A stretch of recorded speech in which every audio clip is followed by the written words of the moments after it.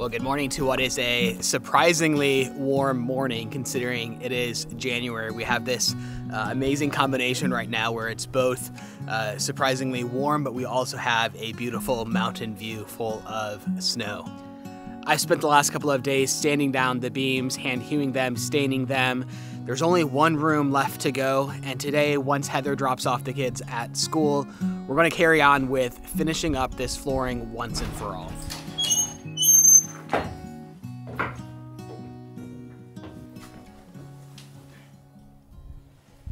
So while we were away, I turned off our battery system, unplugged everything, and um, just left it here. Um, I should, probably should have moved it to someplace warmer, but now the batteries aren't working very well. I don't know if um, maybe they froze too deeply or what happened while we were away, but now every morning um, they are dead, even if they're full the night before. I'll turn it off, unplug everything so there's nothing draining it, and then the following morning it is 0% battery. Um, thankfully, because of how much sun we get here, I just need an hour or two of solar to um, charge them up, but it's been meaning the first uh, couple hours of the day of working are without electricity.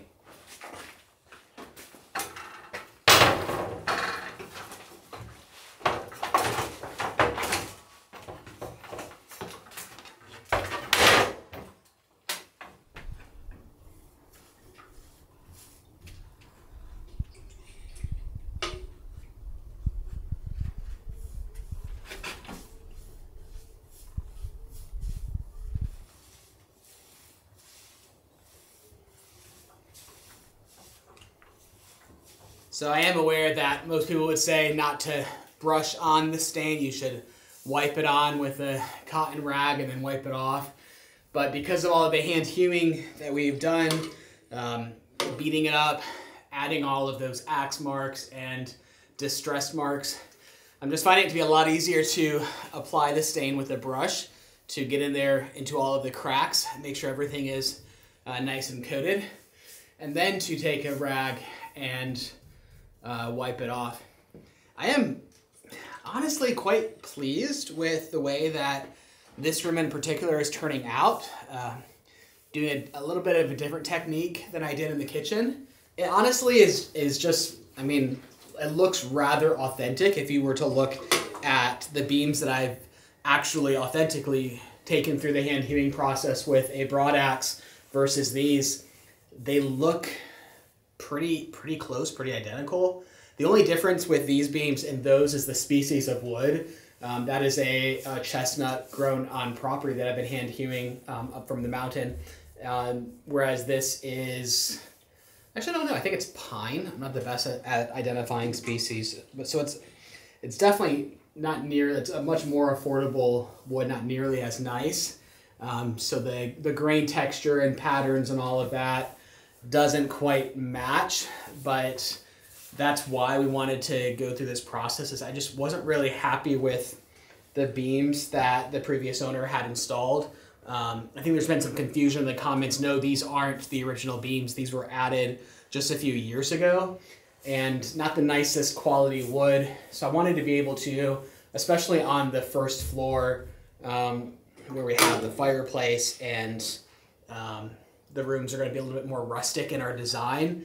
I just wanted to have them be uh, a little bit more rustic and close closer to what they would have been if they were the original beams.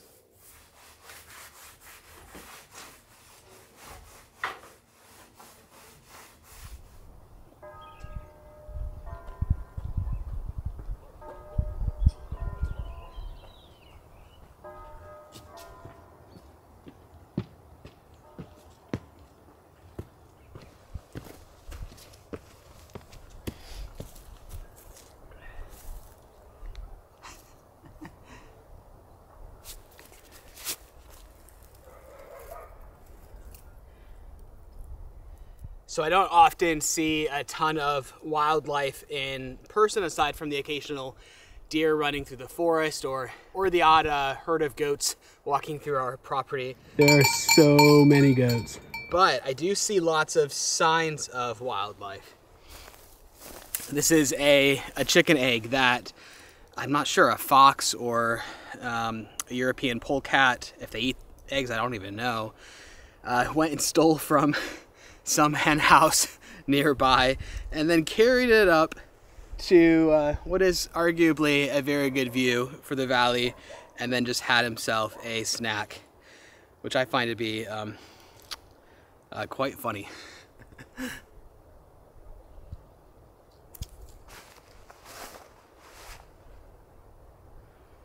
hey. Hey, we were just in a car accident. Are you okay? Um, yeah, we're fine. I just think I was Okay, just, just, no, it's, okay. Um, try to just calm down and find your location and send that to me.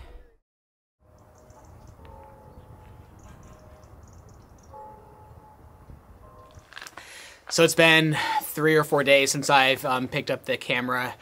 Uh, yes, Heather, Alexa, and Chloe were all in a car accident on their way to school. Thankfully, no injuries at all. A little sore, um, but nothing um, concerning at all.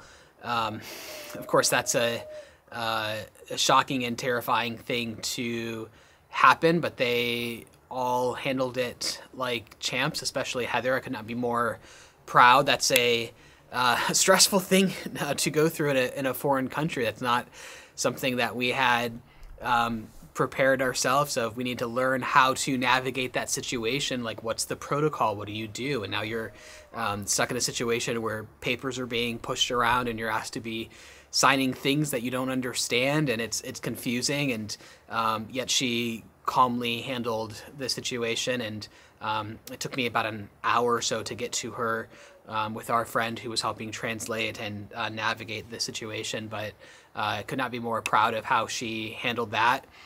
What happened is someone rear ended her on the way to school. Presumably, he wasn't paying attention as traffic slowed, um, hit her car. Um, in the process, he totaled his car, um, and then that pushed her into uh, the next person in line and kind of sandwiched her between the two cars. Um, but again, no injuries, everyone's fine. They should be fixing our car in the next two to three weeks. I'm not entirely sure how that's going to go. She had hoped to be here and kind of explain that everything's fine, um, but between that and the emotional stress there and uh, just a, a, lot of other things going on in her personal life and news that she's had recently. Um, she thought it best to kind of take a personal week and not be on camera this week, which I um, completely understand and respect, and I, and I, hope you understand that as as well. Um, but today I have um, a lot of explaining to do because we have uh, taken all of our plans in the last two weeks and had to completely reshape everything and more or less kind of start from scratch and change up our plans pretty drastically. So, allow me to share with you our new plan moving forward with the house. So, if you're going to be crazy enough to take on one of these old historic homes and attempt to renovate it, you have to understand that you're going to face frequently news that just punches you in the face and makes you rethink everything and change your plans completely. And that's exactly what happened after we had this terrace dug out. See, as a reminder, our plan was to dig behind the house to solve the moisture problem that was going on back there. That's the only proper way to fix that. And after you've dug out, since you've created a large space, you might as well go ahead and build rooms and connect the house um, as it currently is not fully connected that creates a massive dirt problem. You have uh, an estimated 550 cubic meters of dirt and you need some place to put that, which is when we decided to um, commission and look into building a new terrace wall to hold all of that dirt. And we've spent the last six months discussing, measuring, planning, uh, doing soil tests, even bringing a geologist out, which is insanity to me. it's gone um, quite many steps above what I thought it would take to get here. Um, and then we finally came to um, the point of flattening out the terrace and getting ready to dig the foundation. And after the engineer inspected the terrace and saw the soil after we dug a little while, um, he he changed course and no longer felt comfortable building the wall close enough to the edge, as close as we needed it. He didn't feel like the soil was safe enough um, to do that. um, which caused the wall to move back away from the edge um, quite a distance and increase the foundation by quite a lot, um, which kind of rendered the wall idea uh, pointless. It didn't solve the the problem anymore of storing the dirt. It was it was not no longer a viable option for us. So because the wall moved in a lot and no longer held the dirt, and because the foundation became uh, nearly twice as expensive as budgeted, uh, it means that we cannot build this wall which means that we don't really have an option to put the dirt anywhere. The other terraces can't really hold it. There is a terrace at the very bottom of the property that's large enough to hold it all, um, possibly even without building a retaining wall. Um, but the the paperwork required for that um, is um, not feasible within the next two years, as I've been told.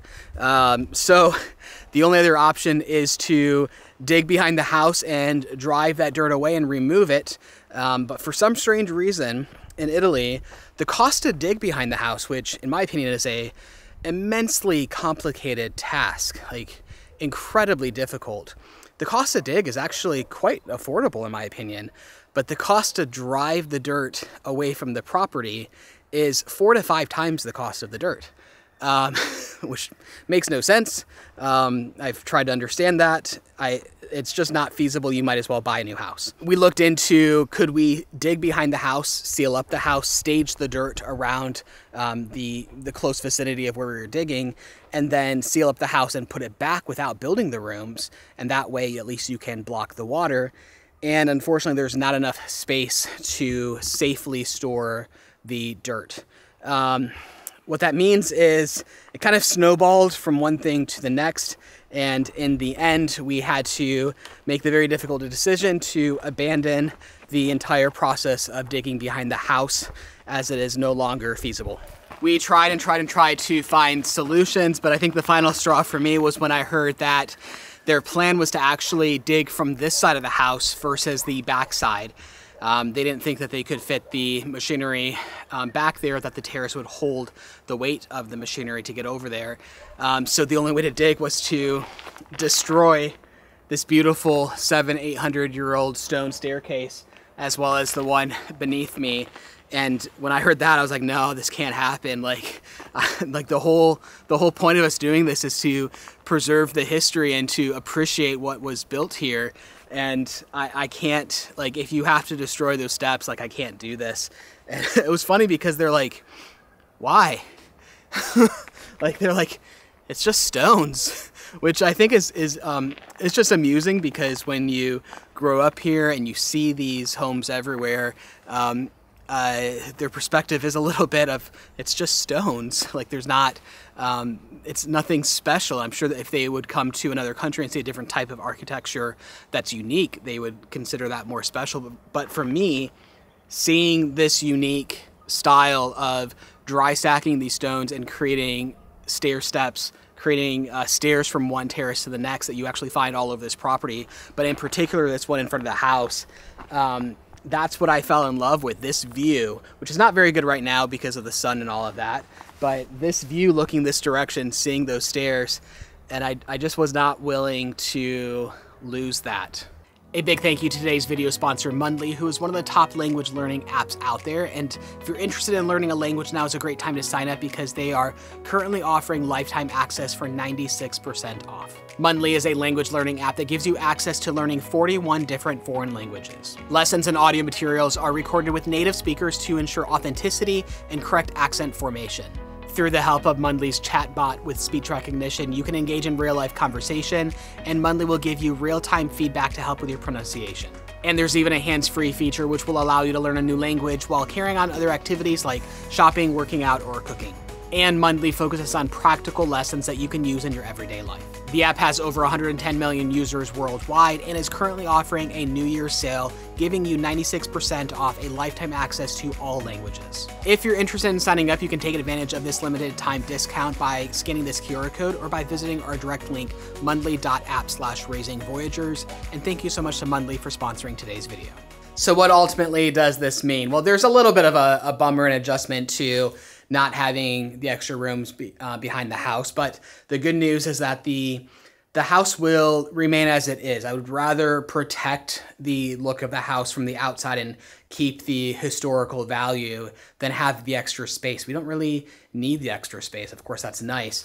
But then we have to solve the moisture problem, and we're simply reverting back to the original plan of trying to drain out the water from the inside, perhaps with a French drain or something similar, and then building off an internal wall to block any moisture from coming into the room, um, or some version of that. We're still kind of consulting with people and deciding the best version if it's best to block it off or if it's best to let it dry out into the room and different people have different opinions on that and we're trying to make that plan but it's back to the original plan. The good news is that this means that we will finish the house so dramatically faster, which is encouraging. We have slowed things down quite a bit as we prepare to pursue this old plan. But now that we're no longer doing that plan, it can move very quickly, and that means that we can live in the house much faster.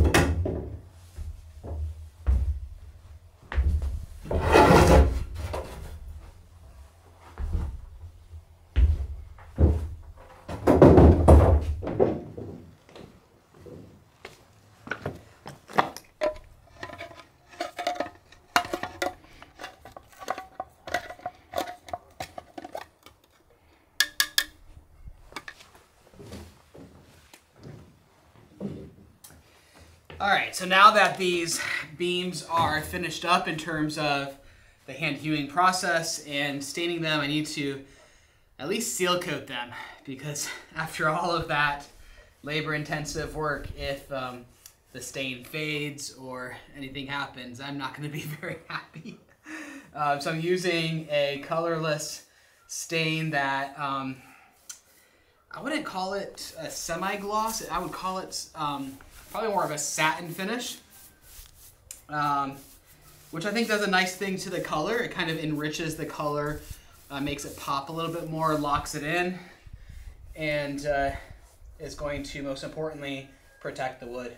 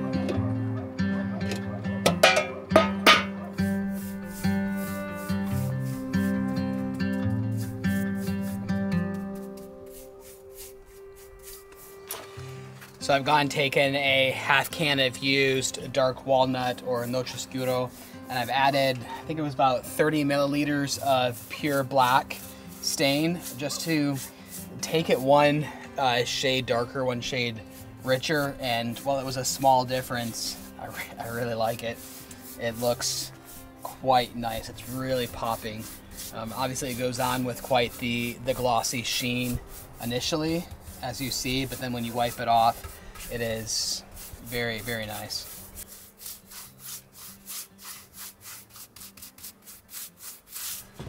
Now, if I wanted to be super picky, I would try to figure out a way to take a little bit of the reddish hue out, add a little bit more brown, go a little bit darker, but the reality is, is that I can get so fixated on one small little detail that uh, the project never gets finished. I was taught a long time ago that a project like this is uh, never quite finished, only abandoned.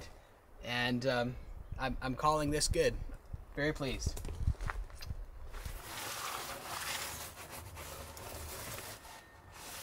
I've lost track, but I think I have four or five more to hand to you.